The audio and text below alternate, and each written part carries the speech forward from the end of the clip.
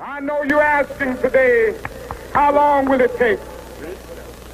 Somebody's asking, how long will prejudice blind the visions of men? I come to say to you this afternoon, however difficult the moment, Yes, sir. however frustrating the hour, it will not be long because truth crushed earth will rise again. Yes, sir. Today we honor Dr. Martin Luther King and we dive in to a mindset that he had that truly captivated and changed not just the US but the world. Let's begin.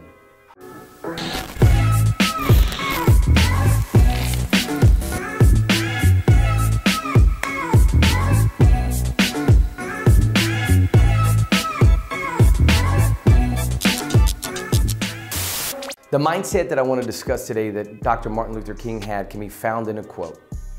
Darkness cannot drive out darkness. Only light can do that. And hate cannot drive out hate. Only love can do that. And I love this quote and I love the mindset that Dr. King is setting for us today.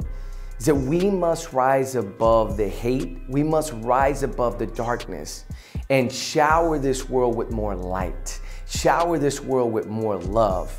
It's not about who's right or who's wrong. It's about doing what is right as He has pushed us to do at each and every turn.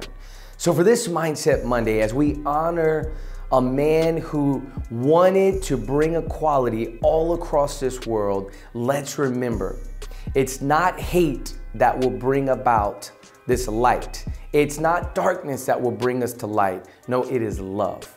On this Mindset Monday, I want us to always realize it is love that is going to take us to the next level. This is Mindset Monday. My name is Tomas Martinez. Be sure to subscribe and make sure we share more light and more love in this world.